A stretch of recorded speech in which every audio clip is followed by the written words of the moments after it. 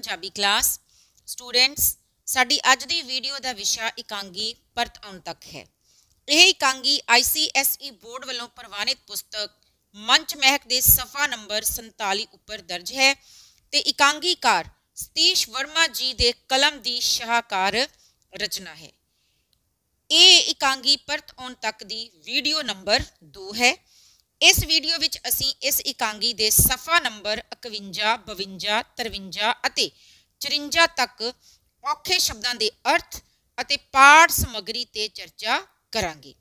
ਪਰ ਇਸ ਤੋਂ ਪਹਿਲਾਂ ਅਸੀਂ ਪਹਿਲੀ ਵੀਡੀਓ ਵਿੱਚ ਕੀਤੇ ਕੰਮ ਨੂੰ ਦੁਹਰਾਵਾਂਗੇ। ਸਟੂਡੈਂਟਸ ਅਸੀਂ ਪਹਿਲੀ ਵੀਡੀਓ ਵਿੱਚ ਸਫਾ ਨੰਬਰ 48 49 ਅਤੇ 50 ਦੀ ਰੀਡਿੰਗ ਕੀਤੀ ਹੈ, ਜਿਸ ਤੋਂ ਸਾਨੂੰ ਪਤਾ ਲੱਗਦਾ ਹੈ ਕਿ ਇਸ ਇਕਾਂਗੀ ਦੇ ਮੁੱਖ ਪਾਤਰ, ਸੱਜਣ ਸੁੰਦਰ, ਜਿੰਦਾ, ਦੀਪਾ, ਸੰਤੀ, ਕਰਤਾਰੀ ਅਤੇ ਬਜ਼ੁਰਗ ਪੰਜਾਬਾ ਹਨ ਤੇ ਇਸ ਇਕਾਂਗੀ ਦੇ ਕੁੱਲ 9 ਦ੍ਰਿਸ਼ ਹਨ। ਇਸ ਵੀਡੀਓ ਵਿੱਚ ਅਸੀਂ ਪਹਿਲੇ ਦ੍ਰਿਸ਼ ਨੂੰ ਖਤਮ ਕਰਾਂਗੇ। ਹਾਂਜੀ, ਇਸ ਇਕਾਂਗੀ ਦੇ ਆਰੰਭ ਵਿੱਚ ਸਟੇਜ ਲੱਗੀ ਹੁੰਦੀ ਹੈ ਤੇ ਪੰਡਾਲ ਖਚਾ ਖਚ ਭਰਿਆ ਹੁੰਦਾ ਹੈ। ਇਸ ਤੋਂ ਪ੍ਰਤੱਖ ਹੁੰਦਾ ਹੈ ਕਿ ਲੋਕ ਕੋਈ ਸਮਾਗਮ ਵੇਖਣ ਲਈ ਆਏ ਹੋਏ ਹਨ। ਪਰ ਚਬੂਤਰਾ ਭਾਵ ਕਿ ਮੰਚ ਪੂਰੀ ਤਰ੍ਹਾਂ ਖਾਲੀ ਹੁੰਦਾ ਹੈ। ਜਿਸ ਕਰਕੇ ਅਚਾਨਕ ਦੋ ਮਰਾਸੀ ਆਪਣੇ ਪਰੰਪਰਾਵਾਦੀ ਕੱਪੜਿਆਂ ਵਿੱਚ ਮੰਚ ਤੇ ਚੜ ਜਾਂਦੇ ਹਨ ਤੇ ਉਹ ਆਪਸ ਵਿੱਚ ਬੇਥਵੀਆਂ ਤੇ ਜੱਬਲੀਆਂ ਗੱਲਾਂ ਨਾਲ ਉੱਥੇ ਬੈਠੇ ਲੋਕਾਂ ਦਾ ਮਨੋਰੰਜਨ ਕਰਦੇ ਹਨ। ਇਸ ਦੇ ਨਾਲ ਨਾਲ ਉਹ ਸਮਾਜ ਦੀਆਂ ਬੁਰਾਈਆਂ ਤੇ ਖਾਸ ਤੌਰ ਤੇ ਟੈਲੀਵਿਜ਼ਨ ਦੇ ਬੇਥਵੇ ਪ੍ਰੋਗਰਾਮਾਂ ਤੇ ਵੀ ਟਕੋਰਾ ਕਰਦੇ ਹਨ ਕਿ ਲੋਕਾਂ ਨੂੰ ਅੱਜ ਕੱਲ ਇਹੋ ਜਿਹੇ ਪ੍ਰੋਗਰਾਮ ਹੀ ਪਸੰਦ ਆਉਂਦੇ ਹਨ, ਜਿਨ੍ਹਾਂ ਦਾ ਕੋਈ ਸਿਰ ਪੈਰ ਨਹੀਂ ਹੁੰਦਾ ਹੈ। ਇਸ ਤਰ੍ਹਾਂ ਉਹ ਜਜ਼ਮਾਨਾਂ ਨੂੰ ਖੁਸ਼ ਕਰਕੇ ਦਮੜੇ ਝਟਕਾਉਣ ਦੀ ਕੋਸ਼ਿਸ਼ ਕਰਦੇ ਹਨ। ਹਾਂਜੀ ਸਟੂਡੈਂਟਸ, ਇਹ ਪਹਿਲੇ ਦਿਨ ਦਾ ਸੰਖੇਪ ਸਾਰ ਸੀ। ਹੁਣ ਅਸੀਂ ਸਫਾ ਨੰਬਰ 51 52 53 ਅਤੇ 54 ਭਾਵ ਕਿ ਪਹਿਲੇ ਦ੍ਰਿਸ਼ ਦੇ ਅੰਤ ਤੱਕ ਔਖੇ ਸ਼ਬਦਾਂ ਦੇ ਅਰਥ ਅਤੇ ਫਿਰ ਪਾਠ ਸਮਗਰੀ ਨੂੰ ਡਿਸਕਸ ਕਰਾਂਗੇ। ਹਾਂਜੀ ਪੇਜ ਨੰਬਰ 51 ਸਭ ਤੋਂ ਪਹਿਲੇ ਔਖਾ ਸ਼ਬਦ ਹੈ, ਵੱਜਦੇ ਰਕਾਟਾਂ ਦੀ। ਰਕਾਟਾਂ ਤੋਂ ਭਾਵ ਹੈ ਗੀਤ ਜਾਂ ਗਾਣਾ।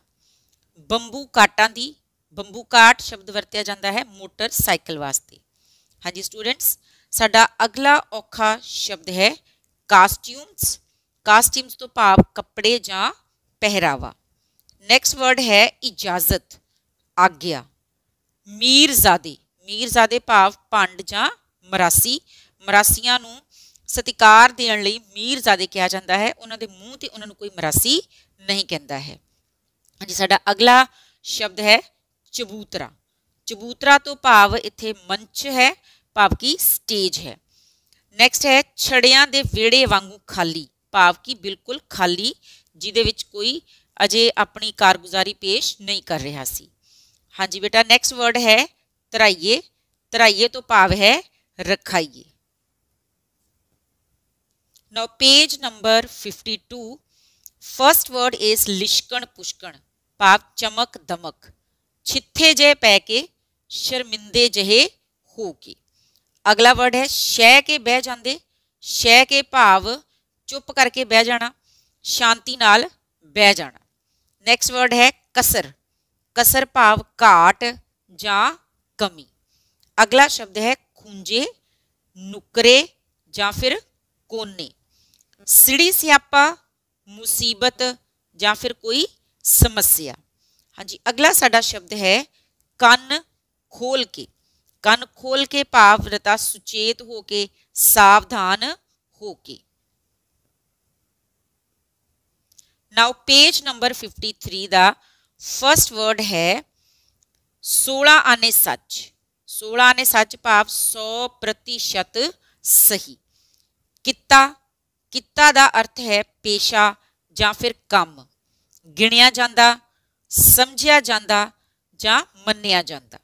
ਹਾਂਜੀ, ਅਗਲਾ ਸ਼ਬਦ ਹੈ ਕਲਾ ਦੀ ਪੁੱਠ ਦੇ ਕੇ, ਭਾਵ ਕਲਾ ਦਾ ਰੂਪ ਦੇ ਕੇ। ਨਾਓ ਪੇਜ ਨੰਬਰ 54 ਕਾਲਿਓ ਬੱਗੇ। ਬੱਗੇ ਤੋਂ ਭਾਵ ਗੋਰੇ ਹਾਂਜੀ ਸਟੂਡੈਂਟਸ ਹੁਣ ਅਸੀਂ ਪੇਜ ਨੰਬਰ 50 ਦੇ ਉੱਪਰ ਜੋ ਕੰਟੈਂਟ ਹੈ ਉਸ ਦੀ ਵਿਸਥਾਰ ਸਹਿਤ ਰੀਡਿੰਗ ਕਰਾਂਗੇ। ਪਹਿਲਾ ਮਰਾਸੀ, ਮਖਾਂ ਨਿਤ ਬਨੇਰੇ ਵੱਜਦੇ ਰਕਾਟਾਂ ਦੀ। ਦੂਜਾ, ਰਕਾਟਾਂ ਦੀ। ਪਹਿਲਾ, ਦੁੱਗ ਦੁੱਗ ਕਰਦੇ ਬੰਬੂ ਕਾਟਾਂ ਦੀ। ਦੂਜਾ, ਬੰਬੂ ਕਾਟਾਂ ਦੀ। ਪਹਿਲਾ, ਦੁੱਗ ਦੁੱਗ ਦੁੱਗ ਦੁੱਗ। ਮੂੰਹ ਨਾਲ ਆਵਾਜ਼ਾਂ ਕੱਢਦਾ ਕੱਢਦਾ ਮੰਚ ਤੇ ਗੇੜੇ ਕੱਢਦਾ ਹੈ। ਜਿਵੇਂ ਮੋਟਰਸਾਈਕਲ ਚਲਾ ਰਿਹਾ ਹੋਵੇ, ਦੂਜੇ ਨੂੰ ਇਸ਼ਾਰਾ ਕਰਦਾ ਹੈ ਕਿ ਉਹ ਉਸ ਦੇ ਪਿੱਛੇ ਇਉਂ ਚੱਲਣ ਲੱਗ ਪੈਂਦਾ ਹੈ, ਜਿਵੇਂ ਮੋਟਰਸਾਈਕਲ ਤੇ ਬੈਠਾ ਹੋਵੇ। ਦੋਵੇਂ ਮੰਚ ਤੇ ਗੇੜੇ ਕੱਢਦੇ ਹਨ। ਅਚਾਨਕ ਮੰਚ ਦੇ ਖੱਬੇ ਪਾਸਿਓਂ ਦੋ ਬੰਦੇ ਆਉਂਦੇ ਹਨ। ਦੋਹਾਂ ਦੇ ਕੱਪੜੇ ਸ਼ਹਿਰੀਆਂ ਵਾਲੇ ਹਨ, ਪਰ ਚਿਹਰੇ ਤੇ ਮੇਕਅਪ ਹੋਇਆ ਹੋਇਆ ਹੈ। ਸਪਸ਼ਟ ਲੱਗਦਾ ਹੈ ਕਿ ਜਿਵੇਂ ਡਰਾਮੇ ਦੇ ਕਲਾਕਾਰ ਹੋਣ ਅਤੇ ਅਜੇ ਪਾਤਰਾਂ ਦੇ ਕਾਸਟਿਊਮਸ ਨਹੀਂ ਪਾਏ, ਸਿੱਧਾ ਗ੍ਰੀਨ ਰੂਮ ਵਿੱਚੋਂ ਆਏ ਲੱਗਦੇ ਹਨ। ਹਾਂਜੀ ਸਟੂਡੈਂਟਸ ਹੁਣ ਇਹਨਾਂ ਸਤਰਾਂ ਤੋਂ ਸਾਨੂੰ ਕੀ ਸਪਸ਼ਟ ਹੁੰਦਾ ਹੈ ਕਿ ਜਿਵੇਂ ਪਿਛਲੇ ਸਫੇ ਤੇ ਅਸੀਂ ਪੜਿਆ ਸੀ ਕਿ ਮਰਾਸੀ ਆਪਸ ਵਿੱਚ ਜੱਬਲੀਆਂ ਗੱਲਾਂ ਮਾਰ ਕੇ ਦਰਸ਼ਕਾਂ ਦਾ ਮਨੋਰੰਜਨ ਕਰ ਰਹੇ ਹੁੰਦੇ ਹਨ।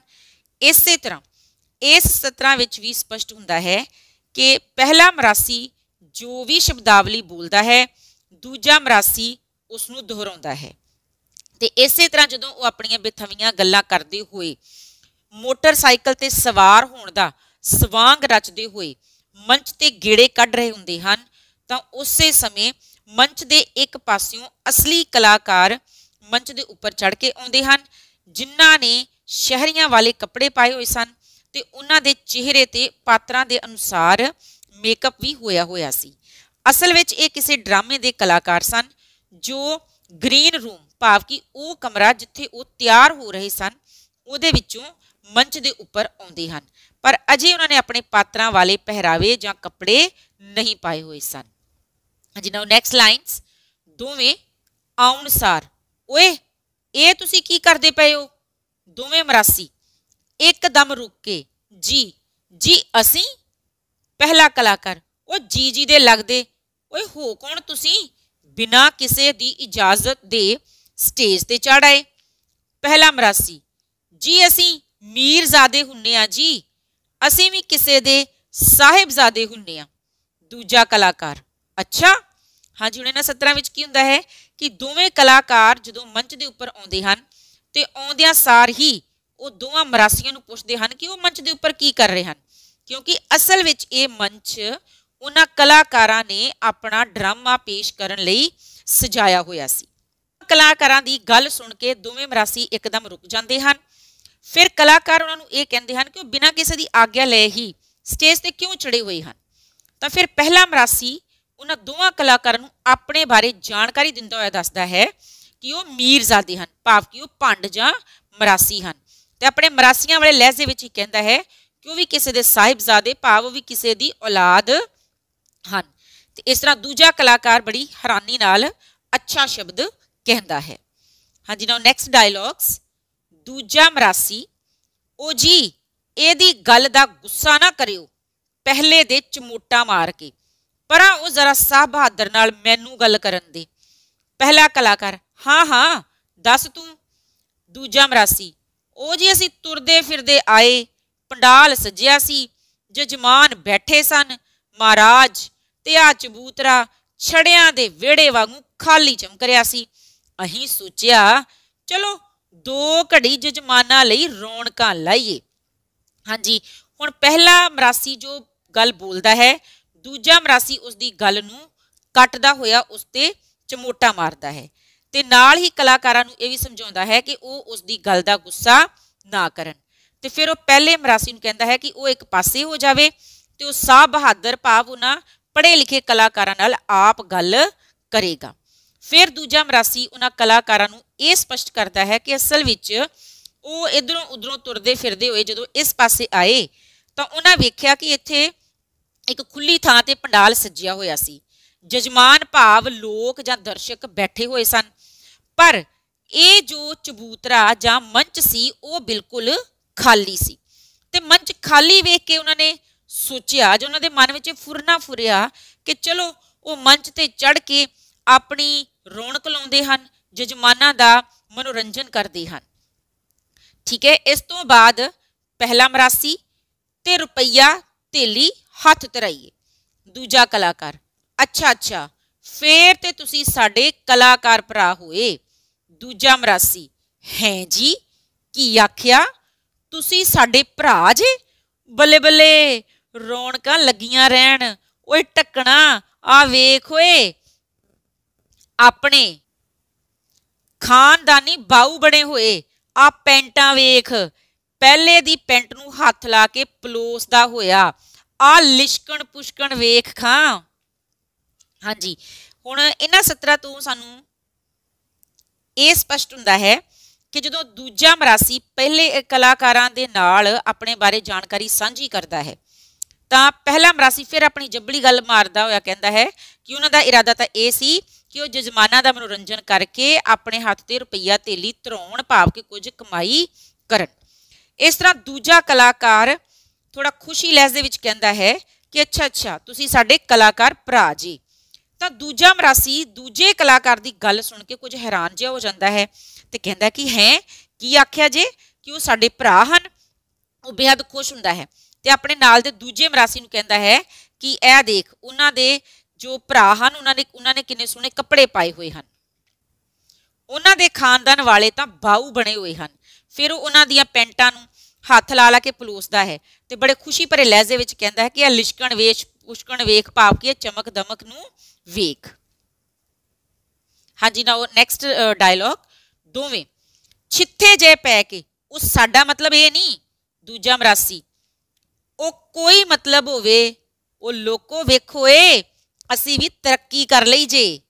ਪਹਿਲਾ ਕਲਾਕਾਰ, ਡਾਂਟ ਦੇ ਲਹਿਜ਼ੇ ਨਾਲ, ਓਏ ਬੰਦੇ ਬਣ ਕੇ ਗੱਲ ਸੁਣਦੇ ਹੋ ਕਿ ਨਹੀਂ? ਹੁਣ ਜਦੋਂ ਦੂਜਾ ਮਰਾਸੀ ਖੁਸ਼ੀ ਭਰੇ ਲਹਿਜ਼ੇ ਵਿੱਚ, ਉਹਨਾਂ ਕਲਾਕਾਰਾਂ ਦੀਆਂ ਪੈਂਟਾਂ ਨੂੰ, ਕੱਪੜਿਆਂ ਨੂੰ ਹੱਥ ਲਾਉਂਦਾ ਹੈ ਤੇ ਉਹਨਾਂ ਦੀ ਤੁਲਨਾ ਆਪਣੇ ਖਾਨਦਾਨ ਨਾਲ ਕਰਦਾ ਹੈ। ਤਾਂ ਇਹ ਸੁਣ ਕੇ ਕਲਾਕਾਰ ਥੋੜੇ ਸ਼ਰਮਿੰਦੇ ਜਿਹੇ ਹੋ ਜਾਂਦੇ ਹਨ, ਕਿਉਂਕਿ ਉਹਨਾਂ ਨੂੰ ਇਹ ਮਹਿਸੂਸ ਹੁੰਦਾ ਹੈ ਕਿ ਭੰਡ ਉਹਨਾਂ ਨੂੰ ਕਲਾਕਾਰ ਨਹੀਂ, ਬਲਕਿ ਮਰਾਸੀ ਸਮਝ ਰਹੇ ਹਨ। ਦੋਵੇਂ ਚਿੱਥੇ ਜੇ ਪੈ ਕੇ, ਉਹ ਸਾਡਾ ਮਤਲਬ ਇਹ ਨਹੀਂ, ਦੂਜਾ ਮਰਾਸੀ। ਉਹ ਕੋਈ ਮਤਲਬ ਹੋਵੇ, ਉਹ ਲੋਕੋ ਵੇਖੋ, ਓਏ ਅਸੀਂ ਵੀ ਤਰੱਕੀ ਕਰ ਲਈ ਜੇ ਹੁਣ ਜਦੋਂ ਮਰਾਸੀ ਉਹਨਾਂ ਦੀ ਤੁਲਨਾ ਆਪਣੇ ਨਾਲ ਕਰਦੇ ਹਨ, ਆਪਣੇ ਖਾਨਦਾਨ ਨਾਲ ਕਰਦੇ ਹਨ, ਤਾਂ ਇਹ ਸੁਣ ਕੇ ਕਲਾਕਾਰ ਸ਼ਰਮਿੰਦੇ ਜਿਹੇ ਹੋ ਜਾਂਦੇ ਹਨ। ਇਸ ਲਈ ਉਹ ਮਰਾਸੀਆਂ ਨੂੰ ਵਰਜਦੇ ਹੋਏ ਕਹਿੰਦੇ ਹਨ ਕਿ ਉਹਨਾਂ ਦਾ ਮਤਲਬ ਉਹ ਨਹੀਂ ਹੈ ਜੋ ਉਹ ਸਮਝ ਰਹੇ ਹਨ, ਭਾਵ ਕਿ ਉਹ ਕਲਾਕਾਰ ਕਲਾਕਾਰ ਹਨ, ਭੰਡ ਜਾਂ ਮਰਾਸੀ ਉਹਨਾਂ ਵਾਂਗ ਨਹੀਂ ਹਨ। ਪਰ ਇਹ ਗੱਲ ਸੁਣ ਕੇ ਦੂਜਾ ਮਰਾਸੀ ਕਹਿੰਦਾ ਹੈ ਕਿ ਉਹਨਾਂ ਦਾ ਮਤਲਬ ਭਾਵੇਂ ਕੋਈ ਵੀ ਹੋਵੇ, ਇਹਦੇ ਨਾਲ ਉਹਨਾਂ ਨੂੰ ਕੋਈ ਸਰੋਕਾਰ ਨਹੀਂ ਹੈ। ਮਰਾਸੀ ਖੁਸ਼ੀ ਭਰੇ ਲਹਿਜ਼ੇ ਵਿੱਚ ਉੱਥੇ ਬੈਠੇ ਹੋਏ ਲੋਕਾਂ ਨੂੰ ਸੰਬੋਧਿਤ ਕਰਦਾ ਹੋਇਆ ਕਹਿੰਦਾ ਹੈ ਕਿ ਉਹ ਵੇਖਣ ਹੁਣ ਤਾਂ ਉਹਨਾਂ ਦੇ ਖਾਨਦਾਨ ਭਾਵ ਭੰਡਾ ਨੇ ਵੀ ਤਰੱਕੀ ਕਰ ਲਈ ਹੈ। ਹਾਂਜੀ ਨੈਕਸਟ ਡਾਇਲੌਗ ਪਹਿਲਾ ਕਲਾਕਾਰ, ਡਾਂਟ ਦੇ ਲਹਿਜ਼ੇ ਨਾਲ। ਓਏ, ਬੰਦੇ ਬਣ ਕੇ ਗੱਲ ਸੁਣਦੇ ਹੋ ਕਿ ਨਹੀਂ? ਦੋਵੇਂ ਮਰਾਸੀ ਸ਼ਹਿ ਕੇ ਬਹਿ ਜਾਂਦੇ ਹਨ। ਹਾਂਜੀ, ਹੁਣ ਦੂਜੇ ਮਰਾਸੀ ਦੀ ਇਹ ਗੱਲ ਸੁਣ ਕੇ ਪਹਿਲਾ ਕਲਾਕਾਰ ਉਹਨਾਂ ਨੂੰ ਝਿੜਕਦਾ ਹੈ ਕਿ ਉਹ ਬੰਦੇ ਬਣ ਕੇ ਭਾਵ ਚੰਗੇ ਤਰੀਕੇ ਦੇ ਨਾਲ, ਢੰਗ ਦੇ ਨਾਲ ਉਹਨਾਂ ਦੀ ਗੱਲ ਨੂੰ ਸੁਣਨ ਤੇ ਸਮਝਣ। ਸੋ ਪਹਿਲੇ ਕਲਾਕਾਰ ਦੀ ਡਾਂਟ ਸੁਣ ਕੇ ਦੋਵੇਂ ਮਰਾਸੀ ਥੋੜਾ ਚੁੱਪ ਕਰਕੇ ਬਹਿ ਜਾਂਦੇ ਹਨ। ਹਾਂਜੀ, ਦੂਜਾ ਕਲਾਕਾਰ ਨਰਮੀ ਤੇ ਪਿਆਰ ਨਾਲ ਉਹਨਾਂ ਨੂੰ ਉਠਾ ਕੇ। ਉਹ ਬਈ, ਸਾਡਾ ਮਤਲਬ ਹੈ ਕਿ ਅਸੀਂ ਕਲਾਕਾਰ ਹਾਂ। ਪੰਜਾਬ ਸਰਕਾਰ ਦੇ ਲੋਕ ਸੰਪਰਕ ਵਿਭਾਗ ਦੇ ਕਲਾਕਾਰ। ਸਾਡਾ ਕੰਮ ਵੀ ਕਾਫੀ ਹੱਦ ਤੱਕ ਤੁਹਾਡੇ ਵਰਗਾ ਹੀ ਹੈ। ਹਾਂਜੀ, ਹੁਣ ਜਦੋਂ ਮਰਾਸੀ ਚੁੱਪ ਕਰਕੇ ਬਹਿ ਜਾਂਦੇ ਹਨ ਥੋੜਾ ਨਿਮੋ ਚੂਣੇ ਜੇ ਹੋ ਜਾਂਦੇ ਹਨ, ਤਾਂ ਫਿਰ ਦੂਜਾ ਕਲਾਕਾਰ ਥੋੜਾ ਨਰਮੀ ਦੇ ਨਾਲ, ਹਲੀਮੀ ਦੇ ਨਾਲ, ਪਿਆਰ ਦੇ ਨਾਲ ਉਹਨਾਂ ਨੂੰ ਉਠਾਉਂਦਾ ਹੈ। ਤੇ ਆਪਣੀ ਜਾਣਕਾਰੀ ਜਾਂ ਆਪਣੇ ਬਾਰੇ ਉਹਨਾਂ ਨੂੰ ਵਾਕਫੀਅਤ ਕਰਵਾਉਂਦਾ ਹੋਇਆ ਦੱਸਦਾ ਹੈ ਕਿ ਉਹ ਭੰਡ ਜਾਂ ਮਰਾਸੀ ਨਹੀਂ ਹਨ, ਬਲਕਿ ਉਹ ਤਾਂ ਪੰਜਾਬ ਸਰਕਾਰ ਦੇ ਲੋਕ ਸੰਪਰਕ ਵਿਭਾਗ ਦੇ ਕਲਾਕਾਰ ਹਨ। ਤੇ ਉਹਨਾਂ ਦਾ ਕੰਮ ਲਗਭਗ ਮਰਾਸੀਆਂ ਦੇ ਕੰਮ ਨਾਲ ਹੀ ਮਿਲਦਾ ਜੁਲਦਾ ਹੈ। ਪਹਿਲਾ ਮਰਾਸੀ, ਰੋਣ ਦੀ ਆਵਾਜ਼। ਉਹ ਮਰ ਗਏ ਲੋਕੋ ਆ ਸਰਕਾਰ ਦੀ ਹੁਣ ਆ ਕਸਰ ਬਾਕੀ ਸੀ। ਸਾਡੀ ਗਰੀਬਾਂ ਦੀ ਰੋਟੀ ਖੋ ਲਈ ਓਏ ਹੋਰ ਰੋਂਦੀ ਆਵਾਜ਼ 'ਚ, ਓਏ ਆ ਸਾਡਾ ਕੰਮ ਵੀ ਅਫਸਰਾਂ ਨੂੰ ਦੇ ਦਿੱਤਾ ਓਏ, ਦੂਜੇ ਨੂੰ ਲੈ ਕੇ ਖੁੰਝੇ ਬਹਿ ਜਾਂਦਾ ਹੈ। ਹੁਣ ਜਦੋਂ ਦੂਜਾ ਕਲਾਕਾਰ ਮਰਾਸੀਆਂ ਨੂੰ ਆਪਣੇ ਬਾਰੇ ਜਾਣਕਾਰੀ ਦਿੰਦਾ ਹੈ, ਤਾਂ ਪਹਿਲਾ ਮਰਾਸੀ ਉਸ ਦੀ ਇਹ ਗੱਲ ਸੁਣ ਕੇ ਰੋਣ ਹਾਕੀ ਆਵਾਜ਼ ਵਿੱਚ ਉੱਥੇ ਬੈਠੇ ਲੋਕਾਂ ਦੇ ਸਾਹਮਣੇ ਸਰਕਾਰ ਨੂੰ ਇਹ ਕਹਿ ਕੇ ਕੋਸਦਾ ਹੈ ਕਿ ਸਰਕਾਰ ਨੇ ਉਹਨਾਂ ਦਾ ਕੰਮ ਪੜ੍ਹੇ ਲਿਖੇ ਕਲਾਕਾਰਾਂ, ਅਫਸਰਾਂ ਨੂੰ ਦੇ ਕੇ ਉਹਨਾਂ ਦੀ ਰੋਜ਼ੀ ਰੋਟੀ ਤੇ ਲੱਤ ਮਾਰੀ ਹੈ। ਤੇ ਇਸ ਤਰ੍ਹਾਂ ਉਹ ਆਪਣੇ ਨਾਲ ਦੇ ਮਰਾਸੀ ਨੂੰ ਵੀ ਲੈ ਕੇ ਦੂਸਰੇ ਕੋਨੇ ਵਿੱਚ ਬੈਠ ਜਾਂਦਾ ਹੈ। ਪਹਿਲਾ ਕਲਾਕਾਰ ਦੂਜੇ ਨੂੰ ਵਟ ਨੌਨਸੈਂਸ ਤੂੰ ਵੀ ਯਾਰ ਕਮਾਲ ਕਰਦਾ ਹੈ। ਆ ਕੀ ਸੜੀ ਸਿਆਪਾ ਪਾ ਲਿਆ। ਇਹਨਾਂ ਕੰਜਰਾਂ ਨੇ ਤਾਂ ਰਾਜੇ ਮਹਾਰਾਜਿਆਂ ਨੂੰ ਗੱਲ ਨਹੀਂ ਸੀ ਹੋਣ ਦਿੱਤੀ। ਤੂੰ ਇਹਨਾਂ ਨਾਲ ਡਿਸਕਸ਼ਨ ਕਰਨ ਲੱਗ ਪਿਆ ਇਹਨਾਂ ਨੂੰ ਕਰ ਪਰੇ ਤੇ ਡਰਾਮਾ ਸ਼ੁਰੂ ਕਰੀਏ।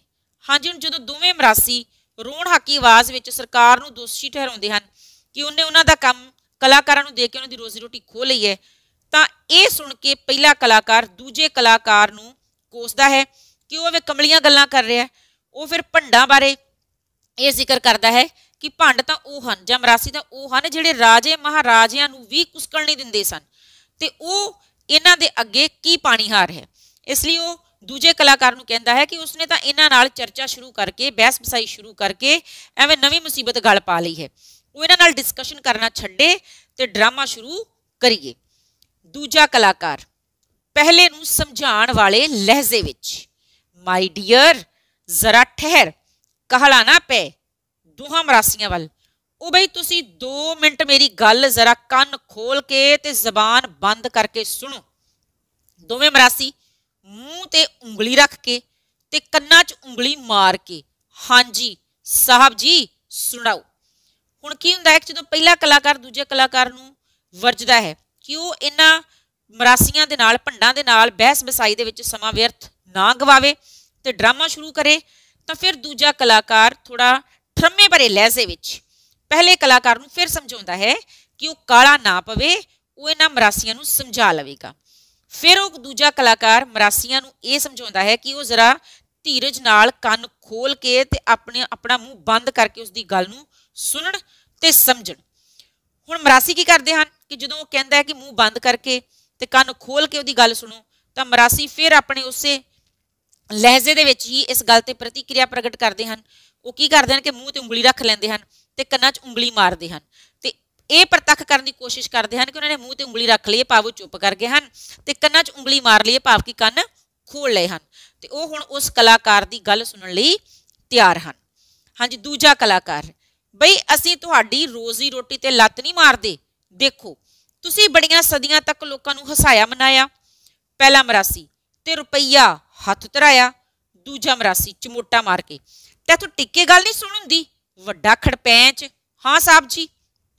ਹੁਣ ਕੀ ਹੁੰਦਾ ਹੈ ਕਿ ਦੂਸਰਾ ਕਲਾਕਾਰ ਉਹਨਾਂ ਦੋਵਾਂ ਮਰਾਸੀਆਂ ਨੂੰ ਫਿਰ ਸਮਝਾਉਂਦਾ ਹੈ ਕਿ ਉਹ ਇਸ ਗੱਲ ਦੀ ਚਿੰਤਾ ਨਾ ਕਰਨ ਕਿ ਉਹਨਾਂ ਦੀ ਰੋਜ਼ੀ ਰੋਟੀ ਤੇ ਲੱਤ ਵੱਜੇਗੀ।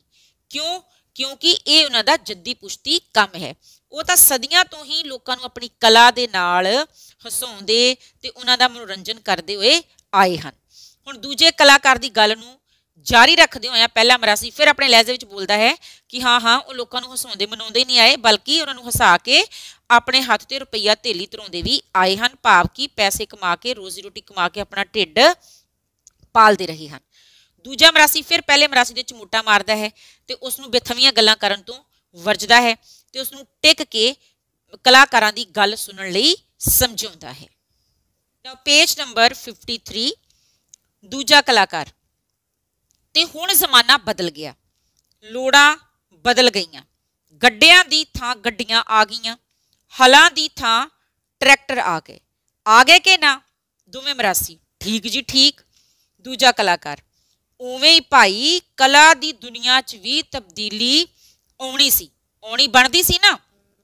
ਹੁਣ ਕੀ ਹੁੰਦਾ ਹੈ ਕਿ ਜਦੋਂ ਅਜੇ ਵੀ ਮਰਾਸੀਆਂ ਦੇ ਖਾਨੇ ਵਿੱਚ ਗੱਲ ਨਹੀਂ ਪੈਂਦੀ ਤਾਂ ਫਿਰ ਦੂਸਰਾ ਕਲਾਕਾਰ ਉਹਨਾਂ ਮਰਾਸੀਆਂ ਨੂੰ ਬਦਲਦੇ ਹੋਏ ਜ਼ਮਾਨੇ ਦੀਆਂ ਉਦਾਹਰਨਾਂ ਦੇ ਕੇ ਸਮਝਾਉਂਦਾ ਹੈ ਕਿ ਜਿਸ ਤਰ੍ਹਾਂ ਅੱਜ ਲੋਕਾਂ ਦੀਆਂ ਜ਼ਰੂਰਤਾਂ ਬਦਲ ਗਈਆਂ ਹਨ, ਅੱਜ ਤਰੱਕੀ ਹੋ ਗਈ ਹੈ ਤੇ ਗੱਡਿਆਂ ਦੀ ਥਾਂ ਤੇ ਮੋਟਰ ਗੱਡੀਆਂ ਆ ਗਈਆਂ ਹਨ, ਪੁਰਾਣੇ ਹਲਾਂ ਦੀ ਥਾਂ ਤੇ ਨਵੀਆਂ ਮਸ਼ੀਨਾਂ ਜਿਵੇਂ ਟਰੈਕਟਰ ਆ ਗਏ ਹਨ, ਉਸੇ ਤਰ੍ਹਾਂ ਹੀ ਉਹਨਾਂ ਦੀ ਜੋ ਕਲਾ ਦੀ ਦੁਨੀਆ ਹੈ, ਉਹਦੇ ਵਿੱਚ ਵੀ ਸਮੇਂ ਦੇ ਗੇੜ ਨਾਲ ਪਰਿਵਰਤਨ ਆ ਗਿਆ ਹੈ। ਹਾਂਜੀ, ਦੂਜਾ ਮਰਾਸੀ, ਸਤ ਬਚਨ ਜੀ। ਠੀਕ, ਬਿਲਕੁਲ ਠੀਕ 16 ਆਨੇ ਸੱਚ। ਪਹਿਲਾ ਮਰਾਸੀ, ਤੇ ਰੁਪਈਆ ਹੱਥ। ਪਹਿਲਾ ਝਿੜਕਦਾ ਹੈ। ਹੁਣ ਦੂਜਾ ਮਰਾਸੀ, ਕਲਾਕਾਰਾਂ ਦੀ ਗੱਲ ਨੂੰ ਸਮਝਣ ਦੀ ਕੋਸ਼ਿਸ਼ ਕਰਦਾ ਹੈ, ਤੇ ਉਹ ਦੂਜੇ ਕਲਾਕਾਰ ਦੀ ਗੱਲ ਵਿੱਚ ਇਹ ਕਹਿ ਕੇ ਹਾਮੀ ਭਰਦਾ ਹੈ ਕਿ ਬਿਲਕੁਲ ਠੀਕ ਗੱਲ ਹੈ। ਇਹ 16 ਨੇ ਸੱਚ ਗੱਲ ਹੈ ਕਿ ਹਰ ਖੇਤਰ ਵਿੱਚ ਤਬਦੀਲੀ ਆਈ ਹੈ। ਠੀਕ ਹੈ ਪਰ ਪਹਿਲਾ ਮਰਾਸੀ ਫਿਰ ਜਬਲੀ ਮਾਰਦਿਆਂ ਹੋਇਆ ਕਹਿੰਦਾ ਹੈ ਕਿ ਹਾਂ ਹਾਂ, ਬਿਲਕੁਲ ਸੱਚ ਤੇ ਰੁਪਈਆ ਹੱਥ। ਦੂਜਾ ਮਰਾਸੀ ਉਸ ਨੂੰ ਫਿਰ ਇਸ ਗੱਲ ਤੋਂ ਝਿੜਕਦਾ ਹੈ। ਪਹਿਲਾ ਕਲਾਕਾਰ, ਉਸੇ ਤਰ੍ਹਾਂ ਹੁਣ ਤੁਹਾਡੇ ਆਲੇ ਕੰਮ ਦੇ ਵੀ ਰੂਪ ਬਦਲ ਗਏ। ਬਕਾਇਦਾ ਮੰਡਲੀਆਂ ਬਣ ਗਈਆਂ, ਸਟੇਜਾਂ ਲੱਗਦੀਆਂ ਤੇ ਕਲਾਕਾਰ ਆ ਕੇ ਬਾਤਾਂ ਸੁਣਾਉਂਦੇ। ਦੂਜਾ ਮਰਾਸੀ, ਸਾਡੇ ਵਾਂਗੂ ਜੀ। ਪਹਿਲਾ ਕਲਾਕਾਰ, ਹਾਂ ਇਹ ਤੁਹਾਡੇ ਵਾਲਾ ਕਿੱਤਾ ਹੁਣ ਮਾੜਾ ਨਹੀਂ ਗਿਣਿਆ ਜਾਂਦਾ। ਇਹਨੂੰ ਲੋਕ ਸਤਿਕਾਰ ਦੀ ਨਜ਼ਰ ਨਾਲ ਵੇਖਦੇ ਨੇ। ਹੁਣ ਫਿਰ ਦੂਜਾ ਕਲਾਕਾਰ ਮਰਾਸੀਆਂ ਨੂੰ ਸਮਝਾਉਂਦਾ ਹੈ ਕਿ ਪਹਿਲਾਂ ਉਹਨਾਂ ਦੇ ਕੰਮ ਦੀ ਕਦਰ ਨਹੀਂ ਸੀ, ਪਰ ਅੱਜ ਸਮਾਂ ਬਦਲ ਗਿਆ ਹੈ। ਹੁਣ ਮਰਾਸੀਆਂ ਵਾਲੇ ਕੰਮ ਨੂੰ ਭਾਵ ਕਲਾ ਦੇ ਕੰਮ ਨੂੰ ਹੁਣ ਮਾੜਾ ਨਹੀਂ ਗਿਣਿਆ ਜਾਂਦਾ, ਕਿਉਂਕਿ ਹੁਣ ਕਲਾਕਾਰਾਂ ਦੀਆਂ ਬਕਾਇਦਾ ਮੰਡਲੀਆਂ ਭਾਵ ਟੋਲੀਆਂ ਬਣ ਗਈਆਂ ਹਨ। ਤੇ ਇਹ ਕਲਾਕਾਰ ਮੰਡਲੀਆਂ ਦੇ ਰੂਪ ਵਿੱਚ ਪਿੰਡ-ਪਿੰਡ ਜਾ ਕੇ ਸਟੇਜਾਂ ਲਗਾਉਂਦੇ ਹਨ ਤੇ ਉਹਨਾਂ ਸਟੇਜਾਂ ਦੇ ਉੱਪਰ ਬੜੇ ਹੀ ਸੁਚਾਰੂ ਢੰਗ ਨਾਲ ਲੋਕਾਂ ਨੂੰ ਗੱਲਾਂ ਸੁਣਾ ਕੇ ਜਾਂ ਨਾਟਕ ਦਿਖਾ ਕੇ ਨਵੀਂ ਸੇਧ ਦਿੰਦੇ ਹਨ। ਦੂਜਾ ਮਰਾਸੀ ਪੁੱਛਦਾ ਹੈ ਕਿ ਕੀ ਇਹ ਕਲਾਕਾਰਾਂ ਦਾ ਕੰਮ ਉਹਨਾਂ ਵਰਗਾ ਹੀ ਹੈ? ਤਾਂ ਫਿਰ ਪਹਿਲਾ ਕਲਾਕਾਰ ਸਮਝਾਉਂਦਾ ਕਿ ਹਾਂ, ਹੁਣ ਕਲਾਕਾਰਾਂ ਦਾ ਕੰਮ ਮਰਾਸੀਆਂ ਵਰਗਾ ਹੀ ਹੈ, ਪੰਡਾਂ ਵਰਗਾ ਹੀ ਹੈ।